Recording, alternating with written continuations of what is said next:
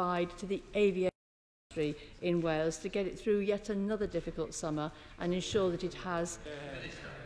Well, Mr Speaker, First of all, welcome very much the Honourable Lady's support for the airline industry and for her stated view that we should get people back into planes and flying around as much as we possibly can. And it's in stark contrast to some of the uh, some, some people in her party who seem to take an extreme environmental view that nobody should ever go into a plane. So I very much welcome that support for the airline industry. I can assure the Honourable Lady that we meet with the airline industry on a regular basis. I've spoken to the uh, Space Aerospace Trade Body about, uh, about 10 days ago. I met with Airbus online a few days ago. We haven't taken up a sector-specific support because this UK government believes that we should be able to go out there and help all businesses that have been affected by this pandemic. And that's why, as I said, we've already put out that £2.75 billion pounds for Welsh businesses, and I hope she would welcome that. Research by the Centre for Progressive Policy has shown that UK government COVID emergency support was on average £1,000 more generous to London residents than to those in Wales. And that the UK government spent nearly £7 billion more on London than it otherwise would have done if each nation and region of the UK had been allocated the same amount of emergency spending per resident.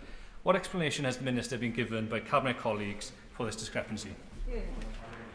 Well, Mr Speaker, the, uh, the, the fact of the matter is that the money has gone to those in need in all parts of the United Kingdom. I've already mentioned the 8.75 billion pounds extra that went to the Welsh government and the 2.7 billion pounds for Welsh businesses and the 466,000 Welsh workers who were supported through the furlough scheme. And to be honest with you, I really welcome these questions because it, they give me an opportunity to spell out uh, the huge amount of support that the government's delivered for Wales, but on a UK-wide basis. UK-wide, the, the UK government has spent 280 billion pounds supporting people from across the whole of the United Kingdom. With the greatest respect to the Honourable Gentleman, I don't think an independent Wales would have been able to manage that level of support. Mr Speaker. Go on, John.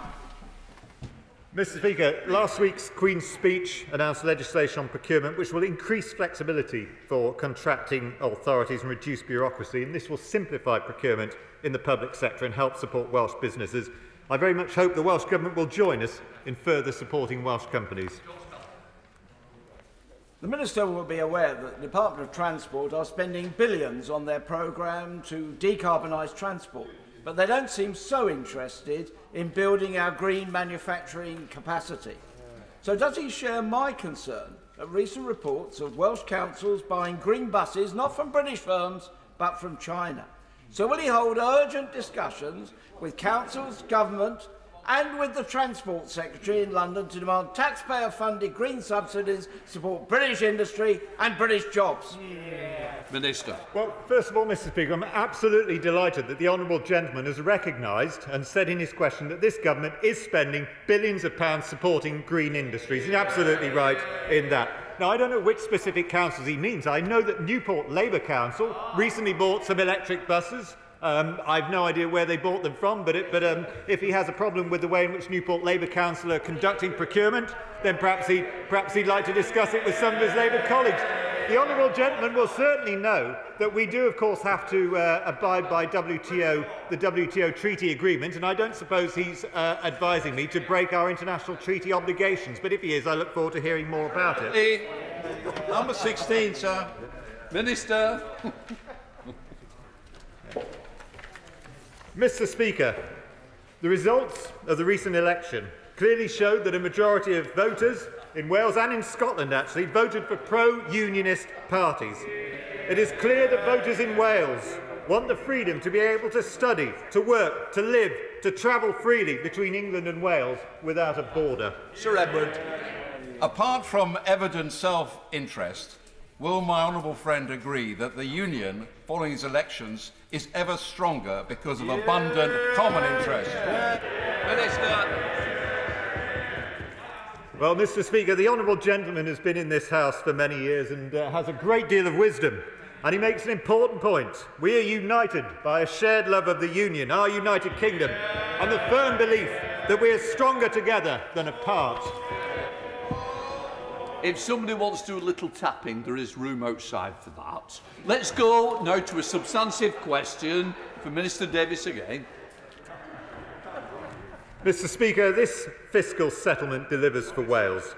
This year, the Welsh Government will receive almost £19 billion of block grant funding, which is a billion pounds more than was agreed with the Welsh Labour Government as being a fair settlement for Wales. Let's go to Deirdre Brooke. Deirdre. Thank you, Mr Speaker. The fiscal settlement, of course, won't matter all that much if the possible trade deal with Australia goes through with a zero tariff regime, which would cause serious difficulties for Welsh and indeed Scottish farmers. What compensation for those farmers is being built into the fiscal settlement should this latest gung ho trade deal scupper their livelihoods? Minister. Well, Mr. Speaker, no, no trade deal has been signed yet, but I was on a call with the NFU yesterday who actually said that they welcomed uh, the principle of a trade deal and they have a few concerns about some of the details, and we will continue our discussions uh, with the NFU and with farmers. But I'm surprised the Honourable Lady, I think, uh, was in favour of having a free trade deal with the European Union. Why would she not want to have a free trade deal with a country with which we all, Mr Speaker, she and I, in fact, personally, have very close links indeed? Thank you. John Howell. Number 18, sir. Secretary of State. Thank you, Mr Speaker. The Senedd election has shown that three out of four voters rejected separatism, recognising that our economic prosperity is indelibly linked to being part of the Union. John Howell. Thank you. I am concerned that one of the first priorities of the Welsh Government seems to be a universal basic income. Is my right honourable friend aware of the debate that I took part in at the Council of Europe in which we discussed all of this and which the idea was completely rubbished? Yeah. Thursday. stay. Thank, thank you, Mr. Speaker. Well, any, anybody who thinks this is a good idea should knock on uh, knock some doors of voters in working families. It might sound radical to academics and policy wonks, but it sounds out of touch if you ask most normal people. Mr. Speaker, those aren't in fact my words. Those are the words of the new economy minister in Welsh government. So it seems to me that they've got a problem in their own ranks, let alone trying to persuade us of the merits of it. Let's go to Christina Rees. Chris. Thank you, Mr. Speaker. Does the Secretary of State accept that it's Mark Drakeford's superb stewardship of the Welsh economy and Welsh NHS that secured Mark's overwhelming re-election? Will he welcome the Welsh Labour government's new 10-year infrastructure investment plan for a zero carbon economy and release the promised UK government funding for the Global Centre of Rail Excellence to be built in my Neath constituency? State. Mr Speaker, um, um, many questions included in that, but uh, uh, I'm delighted to uh, uh, have played a part in getting the Global Centre of Rail Excellence uh, situated uh, in, in her constituency. That was a government announcement by the Chancellor in the budget. Uh, so uh, it shows that actually collaboration can work when we uh, uh, try to uh, uh achieve those aims. And it's certainly, as far as COVID reaction is concerned, um, that has been a team effort. It has been a cross-UK effort. And the vaccination programme is probably the clearest indication of of why the union matters and how we've been able to work collaboratively with our colleagues in Welsh Government to deliver something which is genuinely uh, benefited the entire nation. Stephen Craft. Thank you, Mr Speaker. The recent elections did demonstrate that... The, oh, beg your pardon. Question number 20 uh, uh, thanks, Mr. Speaker. Uh, uh, my honourable friend, the Prime Minister, spoke to the First Minister shortly following the election result. I have extended an invitation to meet the new Minister for the Economy. Uh, we've had calls with the um, uh, First Minister and uh, CDL last week, and another one due this evening. Stephen Crabb. Apologies, Mr. Speaker. I'm out of practice. Um, the, Mr. Speaker, the recent elections demonstrated that the vast majority of voters in Wales have no time for independence. They have little time for ripping up the devolution settlement either. What I think they showed is that they want their politicians and ministers at either end of the M4 to work together to make good things happen to work for Wales, to make Wales a stronger, more prosperous part of the UK. Given that the success of the vaccination programme shows that it can be done, what needs to happen now to unblock other important policies like free ports, which are stuck between UK and Welsh Government? Sherry State. Well, my honourable friend is absolutely spot on. We've had considerable interest, really enthusiastic uh, uh, interest in the uh, uh, Freeport uh, programme from across the whole of Wales. Um, it will bring 15,000 jobs. Uh, it's a manifesto commitment. The only obstacle standing between us and delivering it uh, is currently Welsh Government. So I'm determined to work collaboratively, as we've said before, to get this over the line and any pressure that anybody in this House can bring to bear to help us achieve that will be very welcome. We're now moving to questions to the Prime Minister. And we're now going to start with question one, Gareth Thomas. Number one, Mr Speaker. Prime Minister.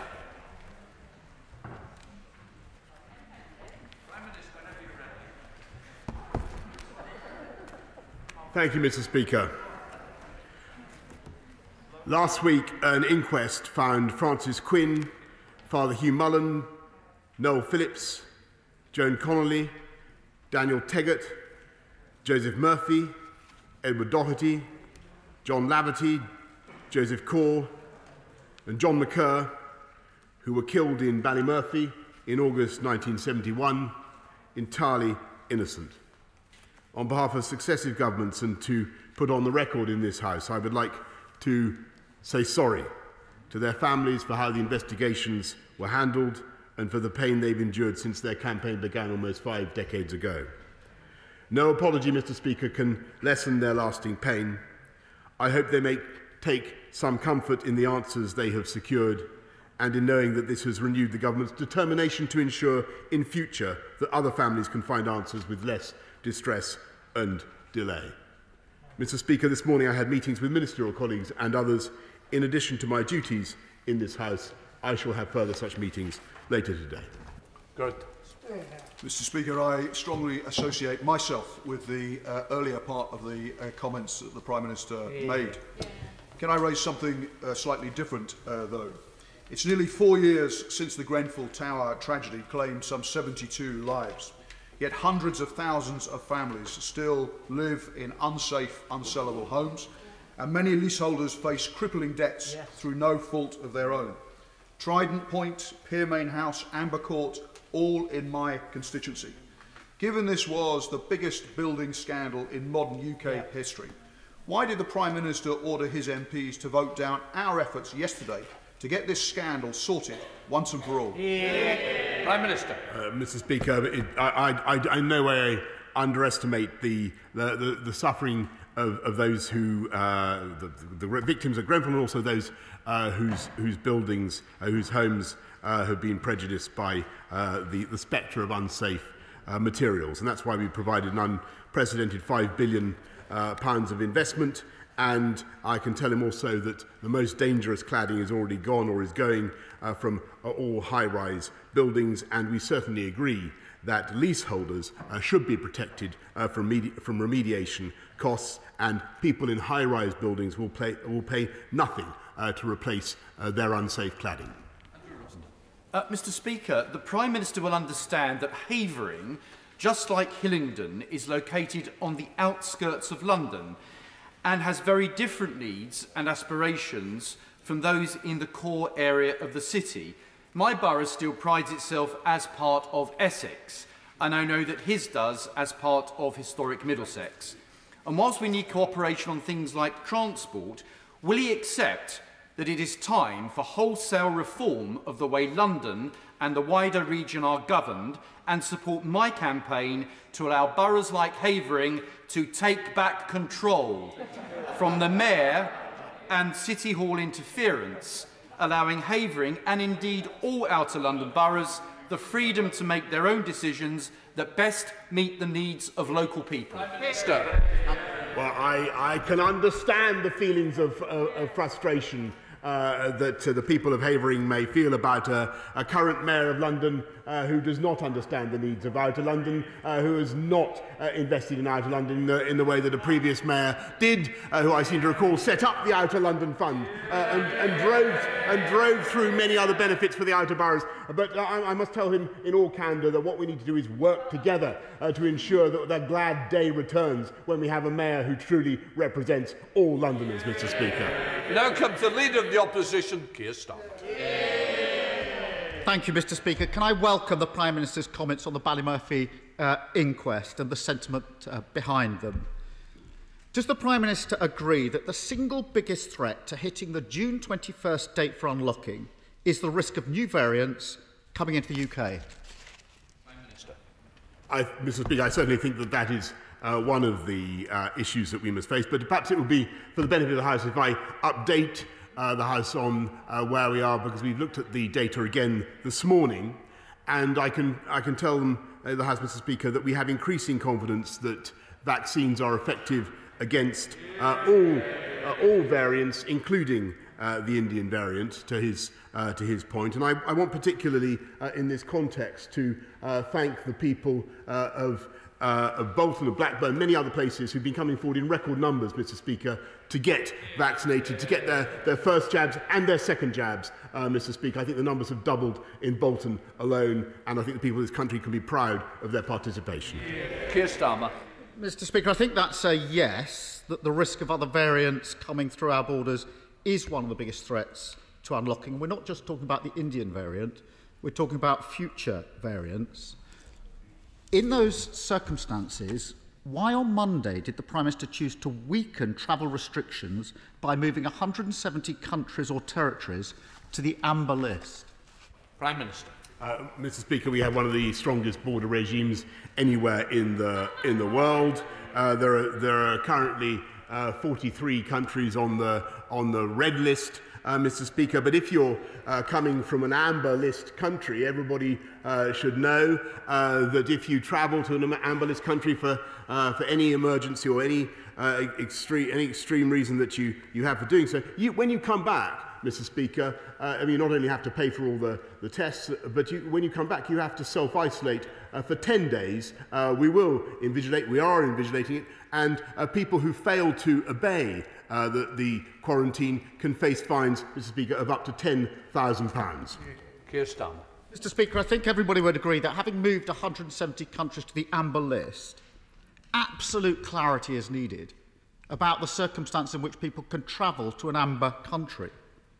Yesterday morning, the Environment Secretary said people could fly to amber list countries if they wanted to visit family or friends. By the afternoon, a government health minister said nobody should travel outside Britain this year, and travelling is dangerous. The Prime Minister said that travel to amber countries should only be where it's essential.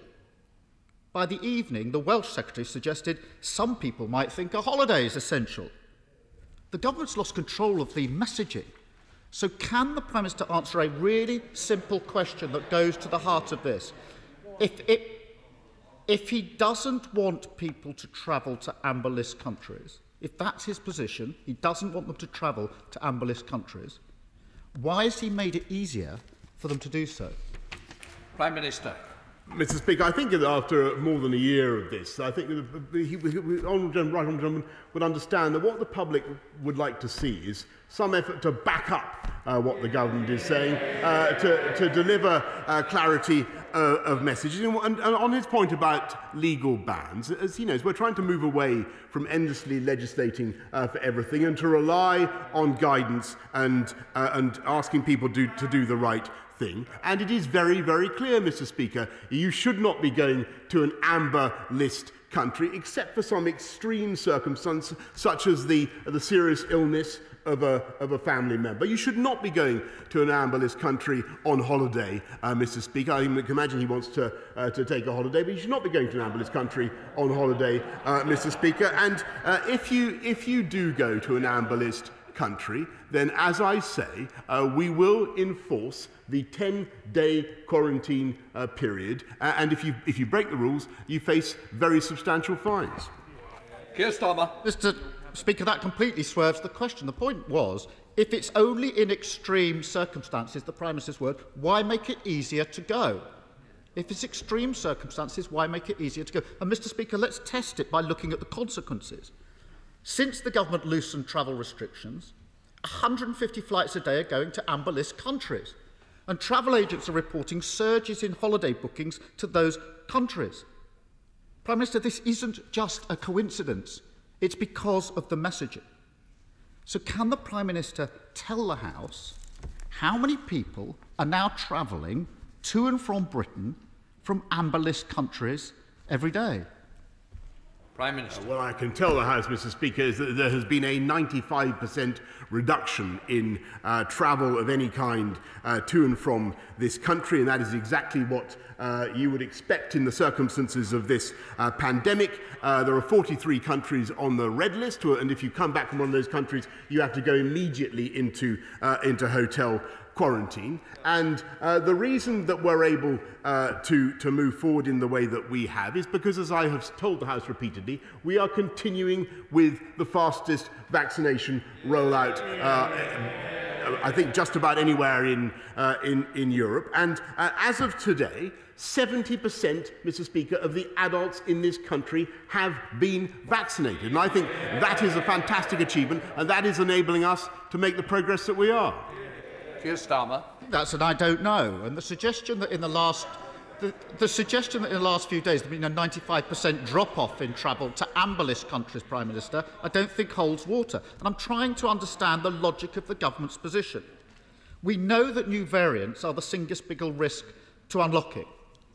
We know that the government doesn't think people should travel to amber list countries save in extreme circumstances. But the government's made it easier to do so. The messaging is confused and contradictory, and as a result, Prime Minister, this week, many people are now travelling to amber list countries, but the, the government can't say how many or when. Mr Speaker, we're an island nation.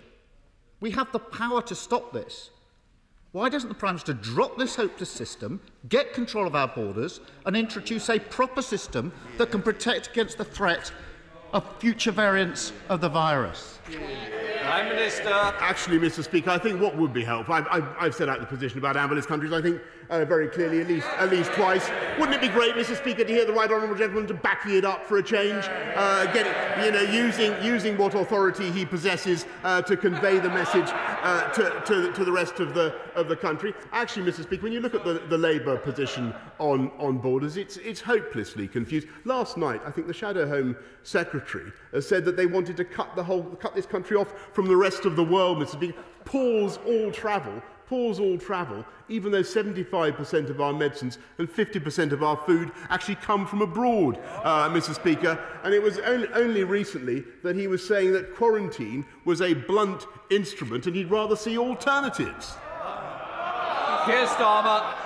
Mr Speaker, the Prime Minister's just wrong again. We've called for a blanket hotel quarantine for months. I raised it here three times at Prime Minister's questions. The government ignored it every time, and look where we are now talking about the Indian variant. Mr. Speaker, the Prime Minister's former adviser had this one right. He said the government's border policy was a joke. Our borders have been wide out open pretty well throughout the pandemic. There was no hotel quarantine system in place until February this year, for that's not true. Flights are still coming in from India, and even as the variant is spreading, the Prime Minister decides now is the time to weaken the system even more. It's ridiculous. Finally, Mr Speaker, I want to raise, I want to raise the appalling rise in anti-Semitism in the last week and the attacks and the violence we've seen. On Saturday, a rabbi in Chigwell was hospitalised after being attacked outside his synagogue. Many of us will have seen the appalling incident in Golders Green and the Community Security Trust report a 500% rise in anti-Semitic incidents since the break, outbreak of violence in Gaza and Israel. Now, I know the government is working on this, and both the Prime Minister and I have condemned these anti-Semitic attacks and violence. But we will all know across this House that Jewish communities remain very anxious. So what more does the Prime Minister think can be done to provide the extra support and protection needed to reassure Jewish communities at this really very difficult time? Prime Minister.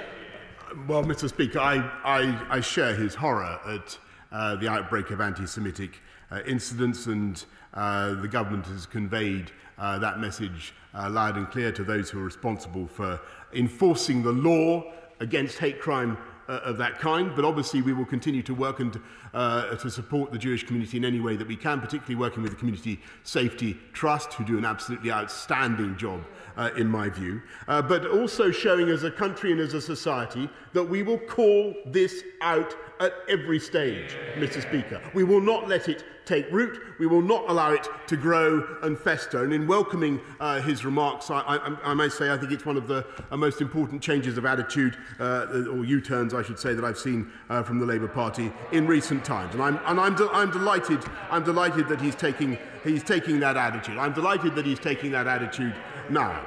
But I think what this, what this country Uh, what this country wants to see, Mr. Speaker, is a government that gets on with delivering on the people's priorities, making everybody safe. And it might have been a good thing, Mr. Speaker, if he had voted, if he had voted and he's got his party to vote for tougher sentences for, against serious and violent sexual offenders, to say nothing of people who commit hate crime. I think, in fairness, this House is very united and will re remain united. And, of course, we do support the CST. Let's come to Mary Robinson. Thank you, Mr Speaker. My second AstraZeneca uh, jab reinforced my confidence, yeah. not only in normal life resuming, but also in the future of our life science industry. In Cheadle and across South Manchester and the Cheshire Life Science Corridor, investment in R&D and innovation will bring high-skilled, well-paid jobs.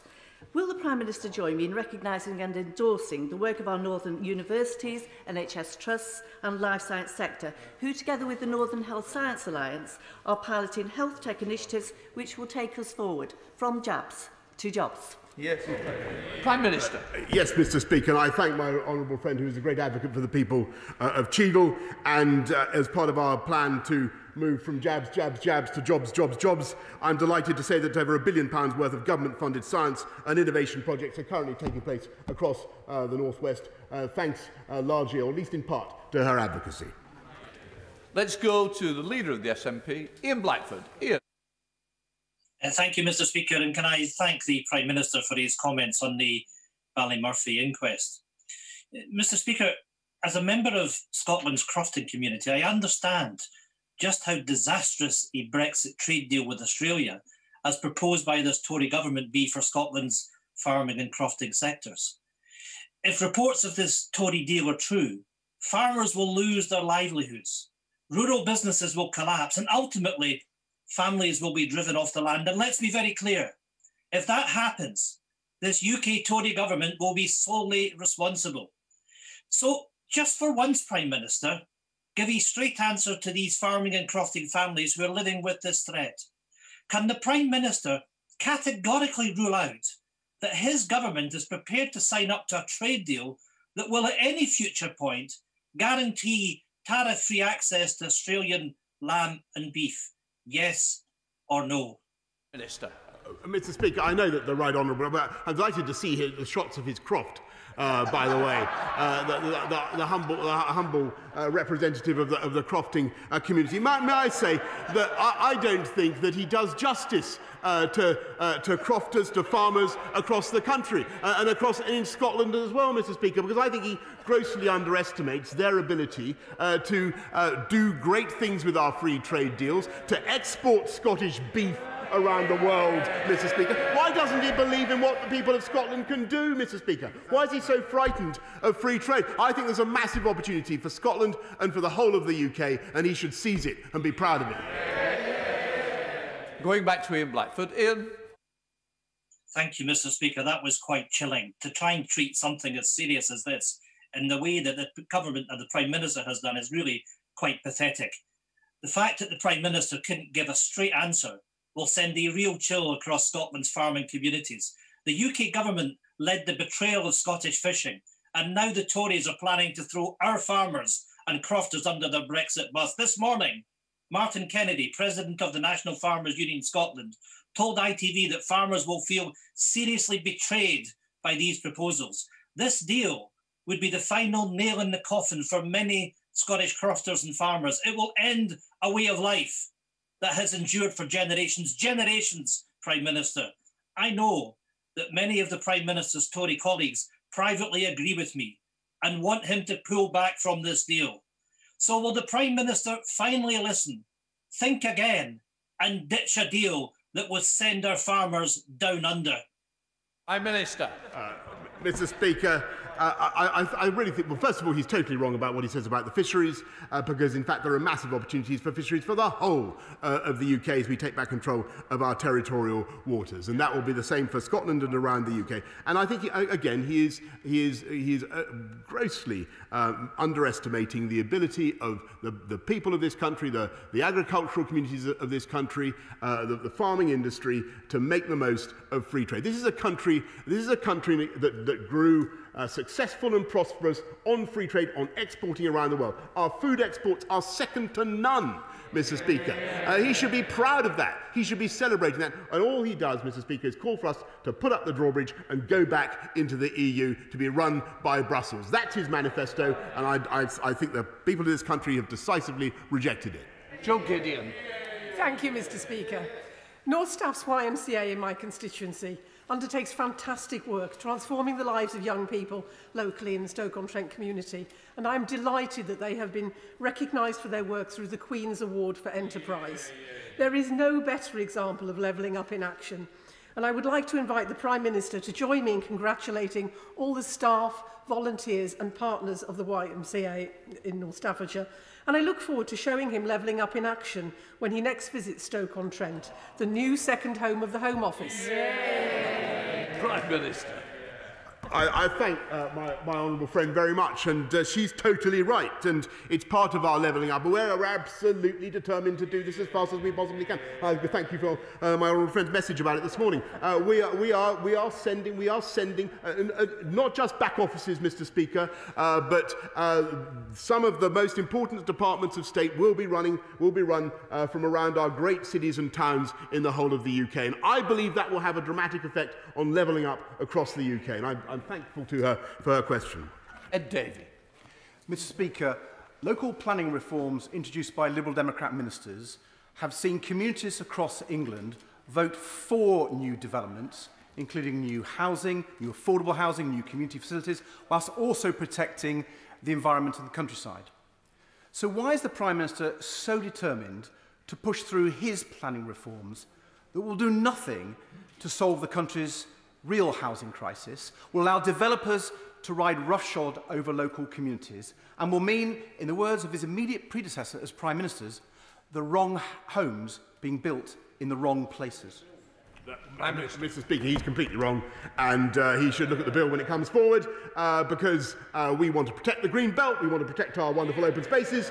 Uh, this is a government that understands the value of the uh, uh, of the countryside and, and rural uh, rural Britain, uh, but we also think that young people uh, have been deprived for too long of the ability to get onto the housing ladder, Mr. Speaker, and it's not just in the south east; it's across the country, and that's why we're bringing forward sensible reforms to allow brownfield sites to go ahead. Andrew Barr. Thank you very much, uh, Mr. Speaker. Two weeks ago, in giving the Scottish Conservatives their highest ever number of votes in the era of devolution, the Scottish people decided that Scotland would remain at the heart of this newly reinvigorated global Britain. So, with that in mind, would the Prime Minister accept my invitation to Stonehaven in my constituency to come and plant one of 120 cherry blossom trees Lovely. donated by the Sakura Cherry Blossom Tree Trust to celebrate the deep and growing links between our country and that other great trading nation, Japan. Yeah. Prime Minister. Uh, yes, Mr Speaker, and uh, I, I think that uh, such a gesture would be the cherry on the cake of the, of the, of the free trade deal that we've already done. Paul Williams. Thank you, Mr Speaker. In 2019, before visiting Wales, the Prime Minister said, I will always back Britain's great farmers. Now it looks as if he's backing Australia's farmers instead. So will he uh, today keep to his word, really back Welsh farmers and permanently roll out tariff-free access for Australian lamb and beef imports? Oh, well, uh, Mr. Prime Speaker, Minister. I will, I will back Britain's farmers and Welsh farmers uh, in exporting uh, their fantastic lamb around the world. Mr. Speaker, is it not a disgrace uh, that not a single morsel of Welsh lamb has so passed the lips of the Americans in the last 20 years uh, or more, Mr. Speaker? Uh, uh, what about China, Mr. Speaker? Has he no ambition uh, for the people of this country or for the people of Wales or for Welsh farmers? I do. This government does, Mr. Speaker. That's why we're getting on with our agenda. Virginia Crosbie. Thank you, Mr Speaker.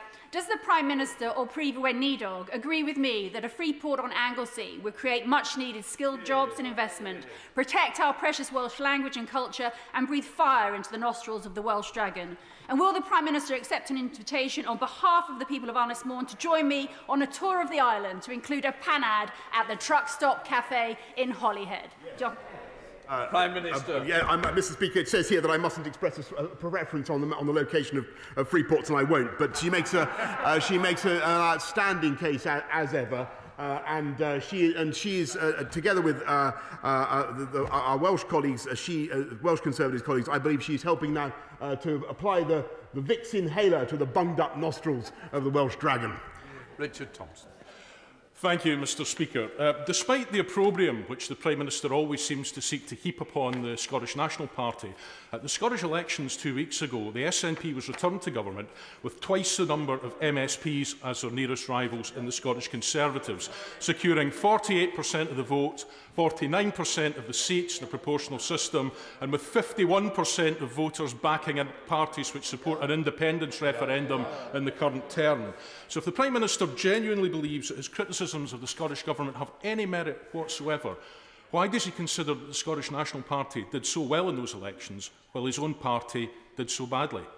Prime Minister. Uh, well, Mr. Speaker, I, I, I, I totally regret reject what he's just said. I, I noticed that actually the, the Scottish National Party did less well uh, than they did previously under Alex Salmond uh, in 2011. I hesitate to point that out uh, to, the, to, the, to the Honourable Member, that is, the, that is, the, that is the, the reality. And I think the reason for that is that the people of Scotland, notwithstanding uh, the, the nationalist approach that he takes, the people of Scotland have been very disappointed uh, by the actual record of the Scottish Government in fighting crime, in improving education, and in making Scotland a great place uh, to live and to invest. And that is the failing of which his government is being held to account. Danny Kruger. Thank you, Mr Speaker. Uh, a large part of Salisbury Plain falls in my constituency of Devizes, and I therefore have the honour to represent a, a lot of serving soldiers and veterans and their families. So my right honourable friend will understand that feelings are running high in Wiltshire about the treatment of uh, British Army veterans of the conflict in Northern Ireland. Can he assure me that legislation will be brought forward in this session to protect veterans from further prosecutions or investigations unless compelling new evidence is brought forward? Prime Minister. Mr Speaker, the House will have understood from my opening apology how difficult, how uh, complex uh, and how fraught these issues are. But we are committed to introduce legislation uh, in this session uh, to address the legacy of the Troubles in, in Northern Ireland and to introducing a, a fair package uh, for veterans as well and to protect them uh, as I've said many times before, from unfair, vexatious litigation when no new evidence has been brought forward. Gerald Jones. Thank you, Mr Speaker. There were no new measures in the Queen's speech to tackle youth unemployment. There are over 500,000 unemployed young people in this country, yet the government's flagship youth unemployment scheme is nowhere near sufficient, only helping around 1 in 25 young people. I and my honourable friend for Blaenau Gwent have already requested a meeting with the Minister to discuss local concerns from training providers and local businesses. So could I ask the Prime Minister what exactly he's going to do to address this? And to safeguard the future of a generation of young people in this country? Yeah. Minister. Uh, we're putting two, but very quickly, Mr Speaker, we're putting £2 billion pounds into the Kickstart programme for 18 to 24-year-olds uh, and, uh, uh, and investing massively in the Restart programme for those who've been uh, longer out of work. But uh, can, I t- I, I, I, can I also tell them that the businesses I talk to are currently facing shortages of workers in many, many sectors, and we will work flat out to ensure that we get uh, those who want jobs uh, to those uh, who need uh, workers as well. James Coughlin. Thank you, Mr Speaker. Can I thank the Prime Minister for the support he's already shown for coming forward with an offshore transmission grid which he knows will help us both to export our surplus offshore wind into the continent and reduce the infrastructure associated with uh, new wind farm capacity. So it's very important to our communities. But there's a question over timing. So given that he's already set out a very ambitious and clear timetable to increasing offshore wind generation, Will he now come out with an equally ambitious timetable for delivering an offshore grid? Prime Minister. Uh, my honourable friend is spot on in what he says about the need for an offshore grid uh, as well as the building the, the, the, the fantastic uh, windmills. It's vital that we bring the, the energy onshore uh, in a way that is, uh, uh, as, uh, has minimal disruption uh, for local uh, communities and enables us to, to maximise efficiency. Walter. Uh, thank you, Mr Speaker. What does the Prime Minister think when he hears Jenny McGee, the nurse who saved his life, say of NHS staff We're not getting the respect and now pay that we deserve. I'm just sick of it, so I've handed in my resignation. Surely even he must pause and think what can be learned from the mistakes of the past year, what Jenny calls the indecisiveness and mixed messages of his government. And will he think again about giving nurses more than an insulting 1% pay rise? Yeah. Minister. Uh, Mr. Speaker, I think the whole House acknowledges our collective debt to the nurses of the NHS, and I certainly acknowledge my own huge personal debt. And that's why, uh, of all the professions Uh, uh, in this country, Mr Speaker, in very, very tough times. Uh, uh we have asked the Public Sector Pay Review Board to look at uh, an increase in pay for nurses, but in the meantime, we have increased starting salary for nurses by 12.8%. We have put in uh, the bursary worth £5,000. We've restored that, Mr Speaker, uh, as well as £3,000 for extra help. But above all, Mr Speaker, to all nurses, and I know what a tough year they have had. I know how hard it has been. On the front line coping with this pandemic. We have done what I think is the most important thing of all, and that is to recruit many more nurses. There are now about 11,000 more nurses in the NHS today than there were this time last year, and there are 60,000 more, Mr. Speaker, in training, and we are on target to reach uh, our target of 50,000 more nurses in the NHS. To James Davies. Following on that theme, Mr Speaker, patients in England have unfettered access to specialist hospital care anywhere in England, including within world-leading centres of excellence. But my constituents in North Wales have no such automatic choice, with access dependent on restrictive contracts or individual funding requests. So will my right honourable friend do all he can to ensure that healthcare features prominently within the UK Levelling Up agenda. Prime Minister. Yes, I, I thank my uh, honourable friend for, uh, for his point, and he, he knows uh, a great deal about uh, the subject. Uh, we've worked very hard with the uh, with the Welsh Government throughout the pandemic, uh, supporting uh, them with uh, £8.6 billion pounds of, uh, uh, of additional funding through the, through the Barnett formula. Uh, but clearly, we need to learn the lessons together as we, as we bounce forward from this pandemic. Justin Madders. Yeah. Thank you, Mr Speaker. It's now 664 days since the Prime Minister said he had a plan for social care. But the Department for Health and Social Care are advertising at the moment for social care policy advisors to, and I quote, develop proposals for reform.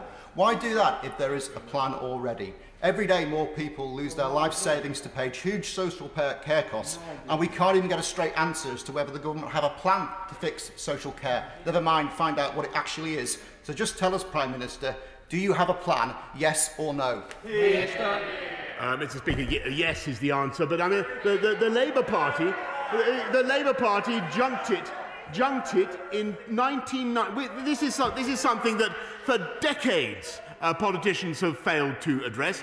1999, Labour failed to uh, address the plan. They, they had 13, year, 13 years in government, Mr Speaker. I think it was 13. 13 unlucky years for this country. They didn't do it. They didn't do it. And this government is going to tackle it. This government is going to, is going to finally going to address the issue of social care. And if they want to support it with their customary, with their customary doughty, uh, doughty resolve, Mr Speaker, if they want to support it without wibble-wobbling from one week to the next in whatever their policy is, uh, then uh, without changing like weather vanes, uh, which is what they normally do, if they want to support it, if they want to back it, then I'm all ears, Mr Speaker. Higginbotham. Thank you, Mr Speaker. Throughout this week, businesses across Burnley and Padiham have reopened their doors to customers inside, yeah. from Usher and Molly Rigby's to Bellissimo and Reel Cinema. Would the Prime Minister join with me in wishing them all the best of luck as they get back yeah. on their feet? And does he also agree with me that if we're to support local businesses in the long term, we need to create the environment and the opportunities they need to succeed, and that includes schemes like the Levelling Up Fund and yeah. the Lifetime Skills Guarantee. Yeah. Minister. Uh, yes, Mr Speaker, that's why we're, uh, we're investing, for instance, uh, £3.6 million pounds from the Getting Building Fund for the development of uh, of Pioneer Place. Uh, Burnley will also benefit from our, our High Streets Task Force. But what, in, what uh, Burnley and towns uh, across the country need more than anything else is passionate leadership. Uh, such as my honourable friend shows in championing uh, their, their localities and getting the right investment in. Final question, David Lind. Yeah, yeah. Thank you, uh, Mr Speaker. The Prime Minister will be aware of Gladys's proposal to close the McVitie's factory in Glasgow's East End, putting at risk up to 470 local jobs. So will the Prime Minister join with me in engaging with Pladis Global CEO Salman Amin and call upon him to rethink these plans, which would definitely unleash economic Armageddon on a very, very, very fragile part of the local economy. Yeah, yeah. Prime Minister. Uh, yes, I'm, i think uh, McVitie's have been a proud part of the Scottish economy uh, since uh, 1800, and I, I know, I know that. Uh, people at the, at the Tollcross uh, factory, their, their relatives, will be very concerned about uh, what's happening. I thank him uh, for raising it. I know that conversations are, uh, are now going on uh, to see what we can uh, do with, I think it's the Turkish company uh, that, that now owns um, Vitis.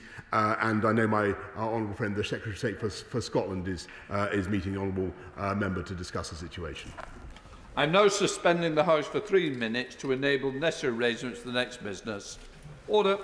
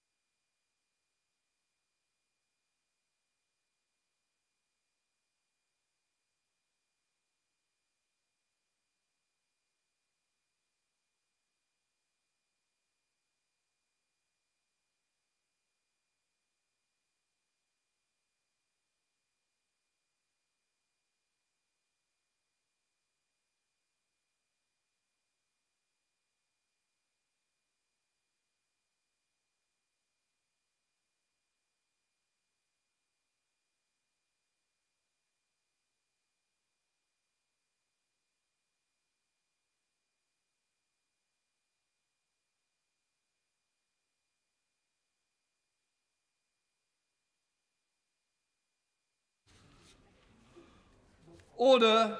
I call Wayne David to ask his urgent question. Wayne David. Uh, thank you, Mr Speaker. I wish to ask the Secretary of State for Foreign, Commonwealth and Development Affairs if he will make a statement on the UK's government's efforts to secure a ceasefire in Israel and Gaza.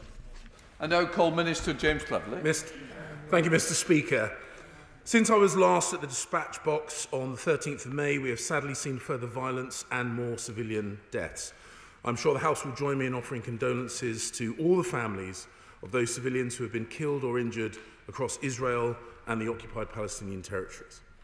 Uh, Mr Speaker, with your uh, permission, I will set out to the House the work that the government is doing, along with others, to bring about a peaceful resolution. We are urging the parties to work with mediators towards an immediate ceasefire to prevent further loss of life and a worsening humanitarian situation. We are supporting United Nations, Egyptian and Qatari efforts to that end, and we work closely with the United States. We're also prioritising our own diplomatic efforts through both bilateral and multilateral channels. The Foreign Secretary and I, with the support of our diplomats on the ground, have been working to progress the conditions needed for an immediate ceasefire. The Foreign Secretary has spoken in recent days with the Israeli Foreign Minister and the Palestinian Prime Minister, where he reinforced our clear message of de-escalation and our desire to work together to end the violence. I delivered similar messages to the, to the Israeli ambassador and the Palestinian head of mission in London. We've also engaged regional partners at ministerial level.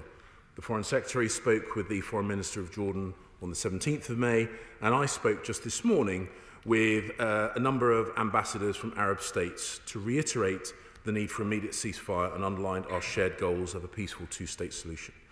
We are playing a leadership role in the United Nations Security Council where we are calling for measures by all sides to reduce further violence. We will participate in the Emergency UN General Assembly session later this week. The UK unequivocally condemns the firing of rockets at Jerusalem and other locations within Israel. We strongly condemn these acts of terrorism by Hamas and other terrorist groups who must permanently end their incitement and rocket fire against Israel. There is no justification for the targeting of civilians.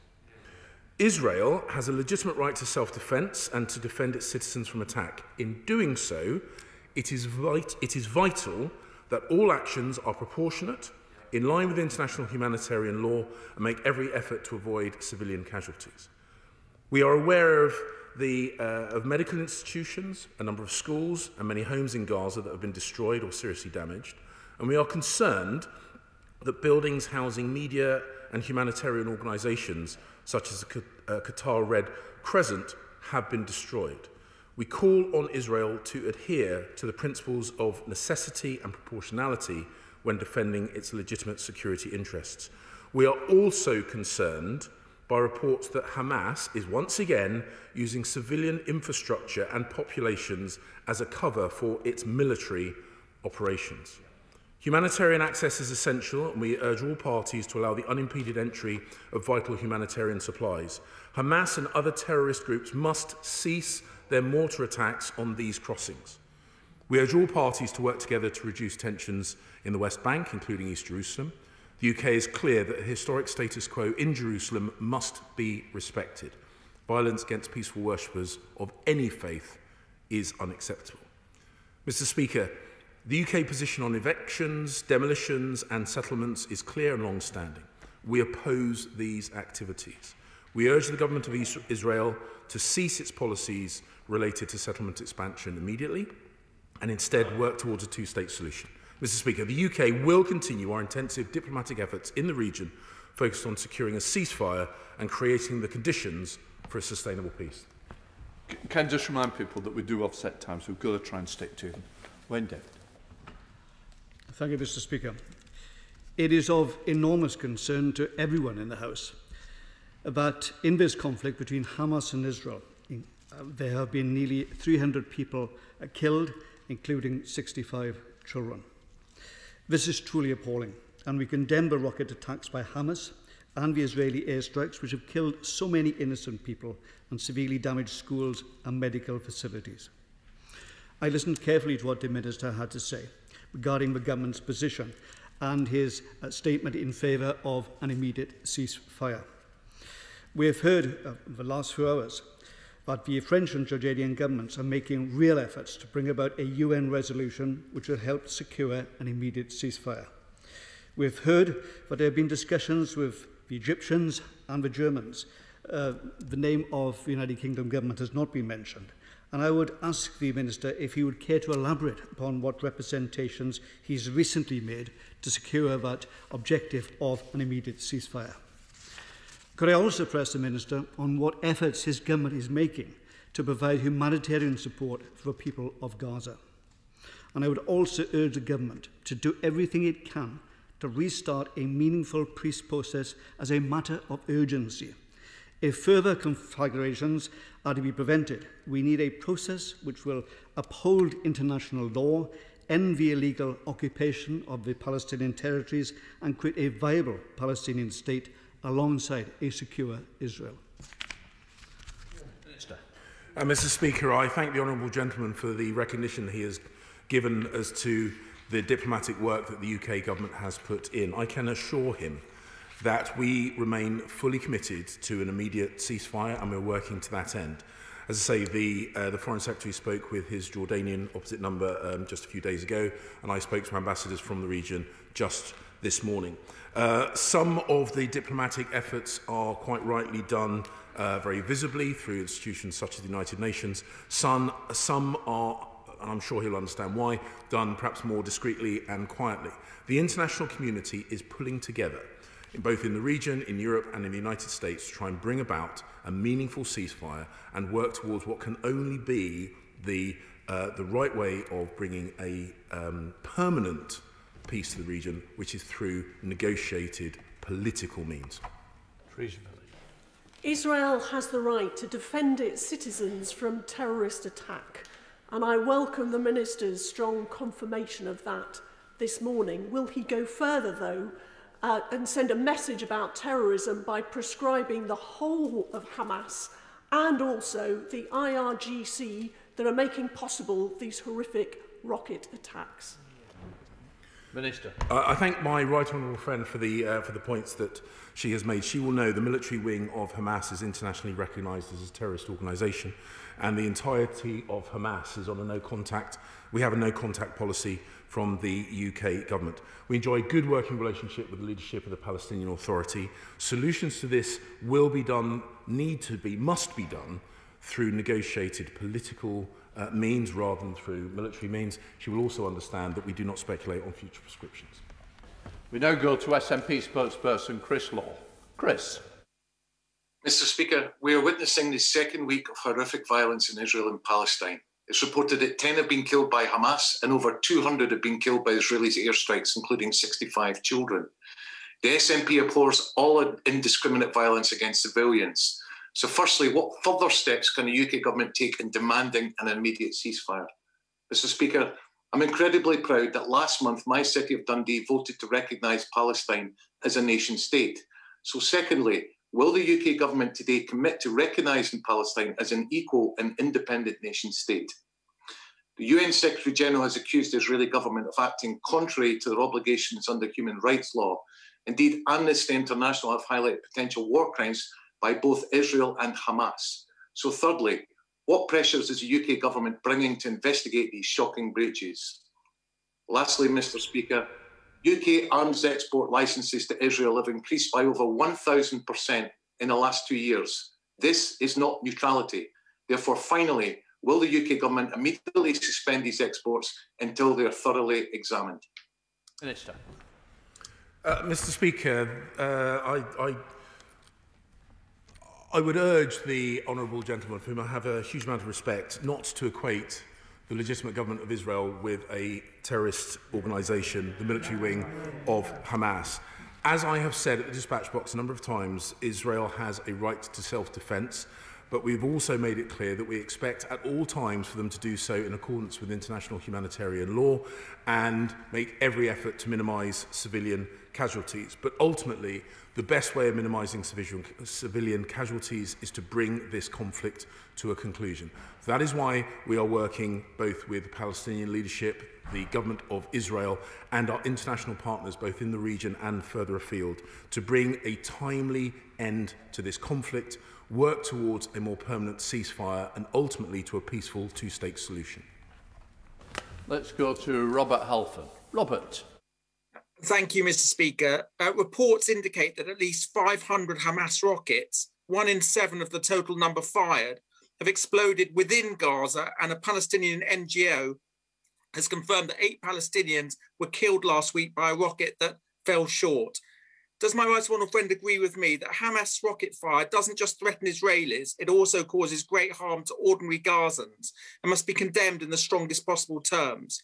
Would he also acknowledge that far from being able to negotiate with the democratic Palestinian government, Israel is facing existential threats from Hamas and Hezbollah, extreme Islamist terrorist organizations funded and backed by Iran, and that there should be no moral equivalence between democratic Israel and the terrorism of Hamas and Hezbollah? Uh, Mr. Speaker, the UK enjoys good relations both with the Government of Israel and the Palestinian Authority. And I would urge uh, all members of the House and further afield to recognise that Hamas, which is uh, the, the military wing of which is recognised as a terrorist organisation, is no friend of the Palestinian people. We will work with the leadership of both the Palestinians and the Israelis uh, alongside our friends and partners internationally to work for peace uh, because ultimately nobody wants to see continued images of, uh, of, of fatalities of either Palestinians or Israelis. Let's go to Layla Moran. Layla. Speaker. Last week, I read the names of four of the then 14 Palestinian children and one Israeli child who had died. And a week on, the number of Palestinian children dead is now 63 in Gaza alone. If my heart was broken before, it's shattered now. We need a ceasefire. And the UK shouldn't have left it to France to be the main sponsor of a UN resolution calling for it. This government is shirking its historic responsibility and it is time to step up. So today, I wear my kufiyeh in recognition that if we want lasting peace, we cannot go back to how it was before the police brutality, the demolitions, and the oppression. We need a peace process that isn't doomed before it begins. So, if this government is committed to a lasting peace, then why doesn't it recognize the state of Palestine? Uh, Mr. Speaker, I recognise the Honourable Lady's passion uh, for the Palestinian people and her own uh, background. Uh, and I completely understand how painful it is for her in particular, but for all of us, seeing images of those who have lost their lives. I can assure her that we are working with international partners, both at the United Nations uh, and more broadly, to bring about peace. When I last stood at the dispatch box in response to her urgent question, I made the case, uh, I made the point at, at then that the UK was pushing towards a cessation of violence and a ceasefire. And we, we are absolutely committed to a meaningful two-state solution. Mr Speaker, the issue of Palestinian recognition is one that is uh, rightly to be debated in this House, but at this point, our focus is relentlessly on bringing about an immediate end to the conflict so that we can work in good time to a negotiated political solution and a two-state solution for the benefit of both the Israeli and the Palestinian peoples. Mr Buckland. Thank you, Mr Speaker. I welcome my right honourable friend's statement and the commitment to a two-state solution Can my right honourable friend update the House as to what extent we are using our presidency of the G7 to help to broker an international consensus for a ceasefire? Uh, I, uh, I, I thank the honourable lady for her, for her question. Uh, we, we are using all of our diplomatic contact, uh, contacts and our diplomatic uh, leverage. Um, understandably, the United Nations is uh, the predominant multilateral body through which we are working. But as I say, I spoke to uh, a meeting of the Arab ambassadors uh, just uh, this morning. Uh, we are ambivalent as to which organisation helps bring about peace, and we'll work with whomever, wherever uh, we feel able to uh, apply um, uh, positivity. But I can assure her that we will, we will leave no stone unturned in our efforts to bring about an end to this conflict. Dr Rupa Huck. The sad aftermath of a tragedy where children pulled from the rubble are considered lucky amongst the three-figure death toll is, he said it himself, newly displaced people from their homes, double refugees, destroyed schools, hospitals, cultural centres, all at a time when we're cutting our aid contribution internationally. Would he agree with his two recent predecessors Alistair Burt and Alan Duncan that although he stated it again, UK government policy is against illegal settlements and for a two-state solution, our long-standing lack of proactivity sometimes looks like we don't really mean this. And the only real victor of all this is Netanyahu. Until recently, a caretaker leader of an inconclusive elect uh, election that's now, he's now well cemented himself. Um, Mr. Speaker, the Uh, the outcome of democratic elections in the state of Israel is, uh, is for the Israeli people. We will continue to work with uh, the government that the Israeli people elect. But it, it does strike me that that is a, an important but fundamentally different issue to the one that uh, is the subject of the urgent question today. We will work with international partners, with the Israelis, with the Palestinians to bring peace to the region, both in terms of this specific conflict, which we seek to resolve as quickly as possible, and ultimately for a sustainable, prosperous two-state solution. That remains the UK government's policy. Thank you, Mr Speaker. Iran's role in this conflict is just one more example of uh, Iranian efforts to undermine peace and stability throughout the Middle East via its proxy terror group allies. Uh, given that it was exactly this kind of behaviour that many warned was a blind spot in the JCPOA agreement, what assurances can my right friend give today that the current discussions around resuscitating that agreement won't just repeat that mistake all over again and give a free pass to Iran to continue rearming its Hamas allies? Uh, Mr Speaker, my right honourable friend makes uh, an incredibly important point, and we recognise that uh, in our uh, in our desire to prevent Iran from acquiring nuclear weapon, we cannot be blind to their broader regional uh, destabilising activity. That will remain one of the UK's priorities. Um, it is something which is regularly raised with me by uh, my interlocutors uh, in the region, and I can assure him that that will be at the forefront of our minds throughout the forthcoming negotiations. Richard Black. Thank you, Mr Speaker.